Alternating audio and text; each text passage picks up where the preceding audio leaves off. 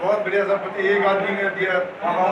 नहीं एक आदमी ये हाथ है सर इसका एक्सरे मतलब तीन तीस सेकंड में एक्सरे मिल जाता है या थर्टी सेकंड हाँ। मेरी फ़ोटो ही वहाँ आ जाएगी अच्छा अच्छा अच्छा वो बार बार प्लेट प्लेट और वो नहीं कुछ नहीं करना सीधा उस कंप्यूटर पे आ जाएगा अच्छा वहाँ डिस्प्ले हो जाएगा पहले सर धोना पड़ता था वो सर अच्छा प्रिंट आउट नहीं निकलेगा ये वो चेस्ट एक्सरे के लिए होगा ये तो दैट सीट है ये स्टोरी सीट है इसके कवर है वो जैसे खड़े रह के वाला नहीं सब लेट हाँ बिल्कुल खड़े रहने वाला भी होगा सर लेटने वाला भी ये तो कवरिंग है उसके बाद मेडिसिन देगा सर उसके बाद देखते हुए तो पृथ्वीराज जी ने मेरे को फ़ोन किया, फ़ोन करके उन्होंने बोला कि बाड़मेर में क्या ज़रूरत है, अपने बाड़मेर की जनता को ज़्यादा क्या ज़रूरत है?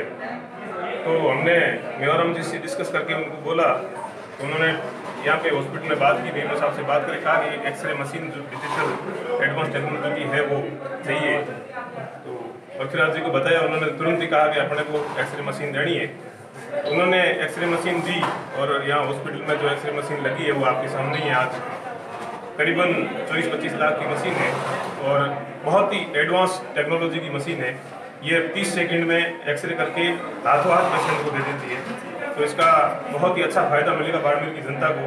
पृथ्वीराज जी, कोड़ू, हमेशा ही जो बाड़मेर में कभी भी आपदा आई है, उसमें मदद करते रहे बाढ़ की टाइम जब 2006 में बाढ़ आई थी, उस टाइम भी उन्होंने सत्ताईस अट्ठाईस लाख रुपए बाढ़ के टाइम भी दिए थे। और भी उन्होंने कहा कि यदि बाड़मेर की जनता को और या कोई ज़रूरत हो तो मैं हर टाइम तैयार हूँ। खास तौर से हमारे बाड़मेर में बहुत सारे मरीज़ हैं। मेडिकल कॉलेज आने से मरीजों में बहुत वृद्धि हुई है। पहले जहाँ हमारा ओ पी डी बारह सौ तेरह सौ रहता था नॉर्मल डेज़ में दो हज़ार और उससे ऊपर भी कृपा कर रही है। इस बिल्डिंग में हालाँकि हमारे पास एक एक्सरे मशीन थी, लेकिन इस बिल्डिंग में एक्सरे मशीन नहीं थी।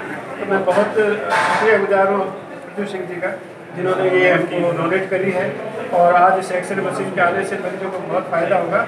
और ख़ास तौर से मैं धन्यवाद हमारे एम एल साहब को कलेक्टर साहब को एस साहब को इनके प्रेजेंस में ये उद्घाटन हुआ तो बिल्कुल सैंपल अवेलेबल है। कोविड नाइन्टीन की टेस्ट शुरू करने से पहले आईसीएमआर से अपने को ऑथोराइजेशन लेना पड़ता है। तो उसके लिए पहले हमको सैंपल भेजते हैं। वो सैंपल टेस्ट करके वो सैंपल टेस्ट में सही पाए जाने पर ही परमिशन देते हैं।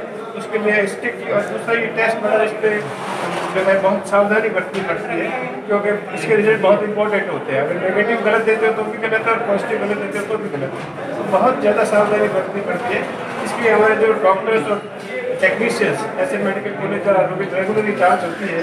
वहाँ से ट्रेनिंग लेके आए थे और अच्छी तरह से ट्रेनिंग लेने के बाद ही शुरू किया गया। किट की कोई कमी अभी जो अपना वर्कलोड है, जो पेशेंट का लोड है, उसके हिसाब से किट अपने लगातार जाँच कर